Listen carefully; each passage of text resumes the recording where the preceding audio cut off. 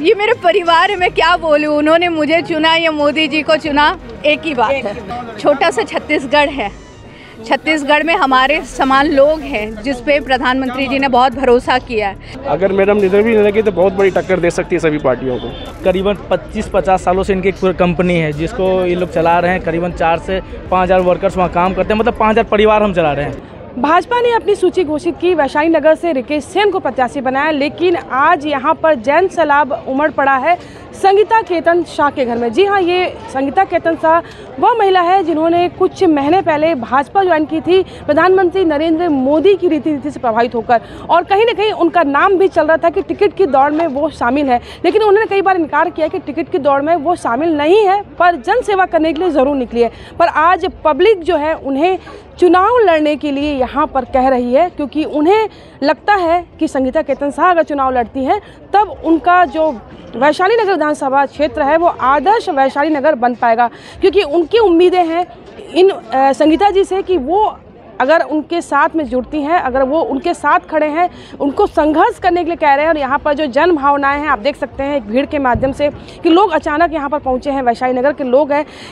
इन लोगों का विरोध किसी का नहीं है, पर विरोध सिर्फ़ इस बात का है कि जो महिला ज़मीन से जुड़कर काम कर रही है, उन्हें पार्टी को टिकट देना चाहिए था। लेकिन अगर पार्टी ने टिकट नहीं दी तो वे उनके साथ है, अगर वो चुनाव लड़ना चाहेंगी तो वे उनके लिए काम करेंगे।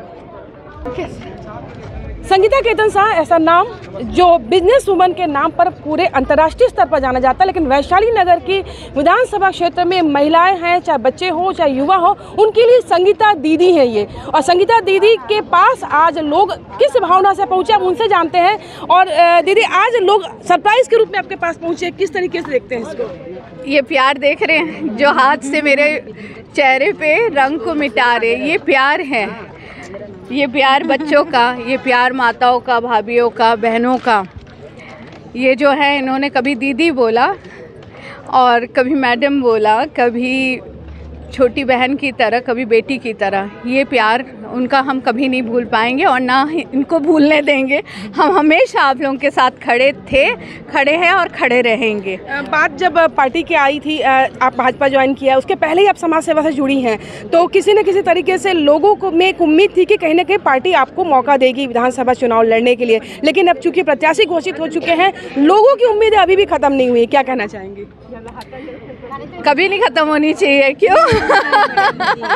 कभी हाँ जी कभी नहीं ख़त्म होना चाहिए। हम हमेशा उनके साथ रहे हैं। मुझे अपने यशस्वी प्रधानमंत्री जी पे पूरा यकीन है अपने शीर्ष नेताओं पे पूरा यकीन है।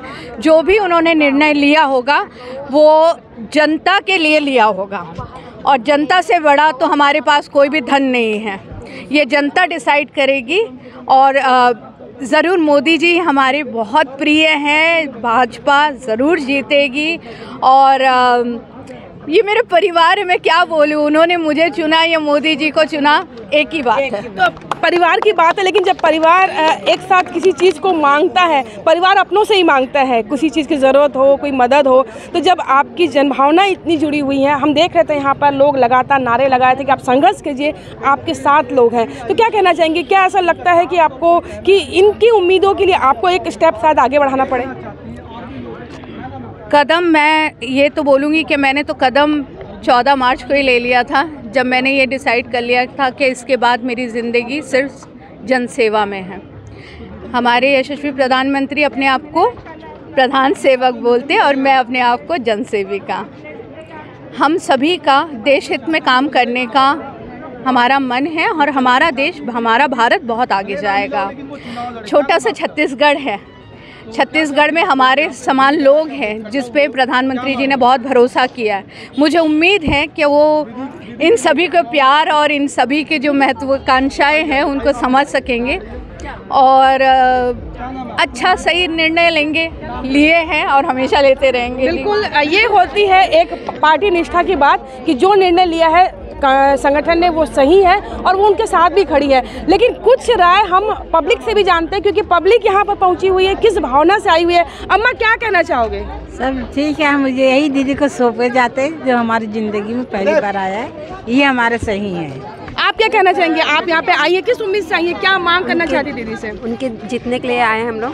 वो बहुत अच्छे हैं। हम लोग का सपोर्ट करते हैं वो हर चीज़ के लिए। इसी के लिए आए कि वो आगे हों आप क्या कहना चाहेंगे? टिकट तो किसी और को मिला हुआ है तो आपको क्या लगता है? दीदी को आना चाहिए। दीदी को आना चाहिए। हाँ। तो आप लोग मना लोगे दीदी को लगता है? हाँ आना चाहिए। सपोर्ट करती है हम लोग का। आप क्या बोलोगे? दीदी को ही आना चाहिए।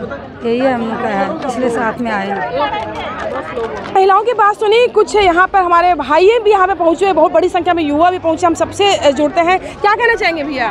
मैं चाहता हूँ कि मैडम जिस प्रकार से मेहनत की है। पिछले नौ महीने से मैं देख रहा हूँ मंदिर मंदिर गरीबों के यहाँ जाना घर घर जाना वैशाली नगर हासिन बोर्ड कुरूद कोका जो वैशाली नगर विधानसभा क्षेत्र है एक एक गली में मैडम ने अपना जन सेवा किया है मंदिरों का पूजा किया है कन्या भोज कराया है बहुत सारे हनुमान मंदिर हनुमान चलसा कराया है उसके हिसाब से मैडम का जो यहाँ पे दबदबा है, काफ़ी ज़्यादा पब्लिक यहाँ पे पूरी वैशाली नगर में हर जन जन लोग उनको जानते हैं। अगर मैडम को, मेरे जो पर्सनली है कि अगर मैडम को टिकट यहाँ से मिलता तो ज़रूर वो भाजपा भाजपा की सीट फिक्स होती है उनके नाम पे। लेकिन अब टिकट नहीं मिला तो आगे आप लोग क्या चाहते हैं? क्या वो निर्दलीय लड़ेंगे चुनाव? अगर मैडम निर्दलीय लगी तो बहुत बड़ी टक्कर दे सकती है सभी पार्टियों को ये मेरा विश्वास है। बिल्कुल यहाँ पे जब चुनावी माहौल है तो बात चुनाव की भी होती है और चुनाव की जब बात होती है तो कहीं ना कहीं लोगों की जनभावना है जन सैलाब जो एक होता है कि आप अपने नेता को वो हर समय आगे रखना चाहते हैं और इस तरीके से क्योंकि अगर पार्टी ना दे तो आप स्वतंत्र उम्मीदवार के रूप में भी सामने आते हैं तो लोग उनकी मदद करते हैं। आप क्या कहना चाहेंगे? आ,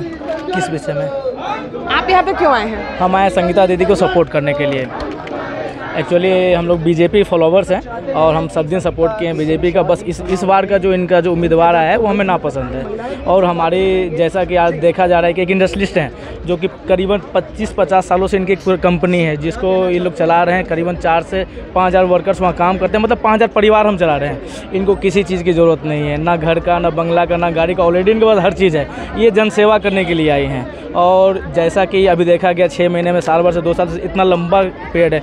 इनको टिकट ना दे के बीजेपी ने बहुत गलत डिसीज़न लिया है। बिल्कुल नाराज़गी ज़ाहिर सी बात है कि जब बात बाहुबली की होती है तो चूँकि उद्योगपति घराने से संगीता केतन से आती हैं तो उन्हें शायद जो जिस तरीके से लोगों का कहना है, किसी चीज़ की ज़रूरत नहीं है, वो केवल समाज सेवा के लिए आई हैं। अब समाज सेवा के लिए आई हैं तो ज़ाहिर सी बात है कि लोग अपने प्रतिनिधि के रूप में उन्हें विधानसभा तक भेजना चाहते हैं और टिकट चूँकि भाजपा ने क्लियर कर दी है और संगीता साहब केतन ने भी अभी कोई ऐसी बात नहीं कही कि वो निर्दलीय चुनाव लड़ेगी, पर कहीं ना कहीं लोगों की जो इच्छा है, वो यहाँ पर यह है कि वे निर्दलीय चुनाव लड़े, पर अभी तक उन्होंने कोई ऐसी क्लीन चिट नहीं दी कि वो चुनाव लड़ने जा रही, पर जो माहौल को देख करके कुछ भी कहा जा सकता है, कुछ भी कयास लगाया जा सकता है, हो सकता है आने वाले समय में इनका मन भी बदले, पर फ़िलहाल वो अपने बात पर कायम है कि वो प्रधानमंत्री जी की नीति नीति के साथ में खड़ी हैं और भाजपा के निर्णय के साथ में खड़ी है। Komal Dhanesar I B C Bhilai.